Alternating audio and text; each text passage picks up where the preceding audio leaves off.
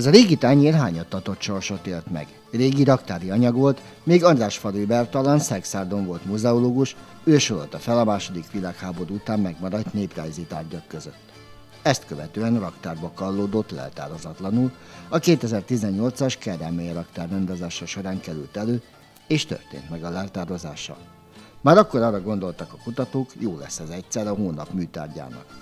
A küldetése beteljesedett. Igazából ez egy dísztányérnak készült, egy viszonylag korai, ugyanis a 19. század első harmadában szoktuk úgy mondani, hogy újra virágzik, vagy egy új stílusú népművészet alakul ki Magyarországon. Ez röviden annyit jelent, hogy különféle használati tárgyakon jelennek meg díszítések, például mint ez a tányér is, hogy kimondottan csak díszfunkciónak készítik ezeket különféle mintázatokkal, vagy például a pásztorművészetben a spanyolozási vagy spanyolos technika ekkor jelenik meg a faragások között, akkor a viseletben például a cifraszűr vagy a, a gyári anyagoknak az alkalmazását kezdik beépíteni a, a viseleti darabokba. Ugye igazából ez a reformkornak a, az időszaka, ugye a polgári átalakulás megkezdődésének, a gazdasági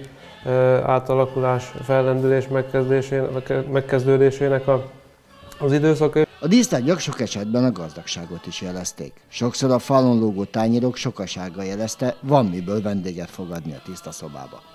Igaz, egészen biztosan nem ezekkel a tányérokkal terítettek.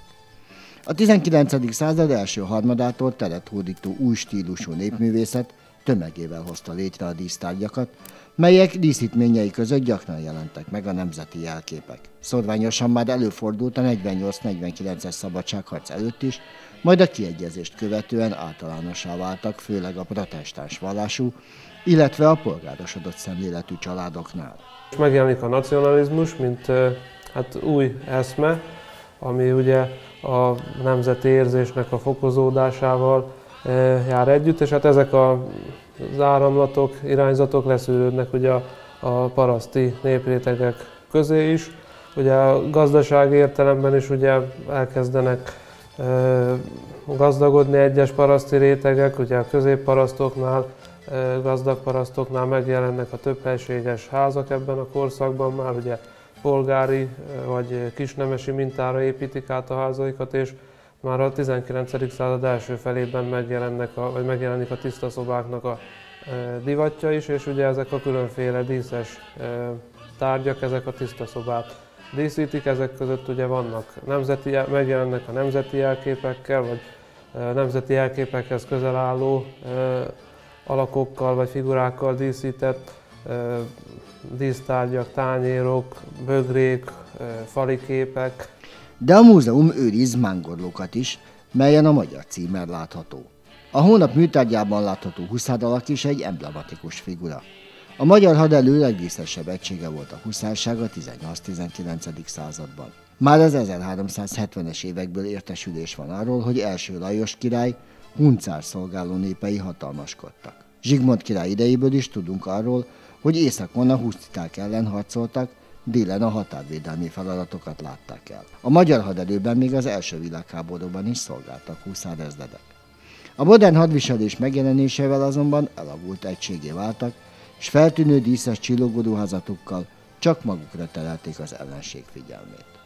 A dísztányérról nem ismernek adatokat a kutatók, ám valószínűsíthetően az Alföldből származik. Az eredeti régi leltárkönyvei a múzeumnak a második világháború alatt megsemmisültek, most párhuzamokat ugye lehet találni, hogyha interneten nyomoz az ember, vagy kiadványokban. Most például egy díszítésére ugyanilyen megegyező tányért találtunk az interneten, az 1934-es, tehát egy bő száz évvel későbbi, az alföldi kerámiának van apostrofálva, vagy nevezve, hát lehetséges, hogy ez is valahonnan onnan, de biztosan nem lehet állítani, hogy honnan származik.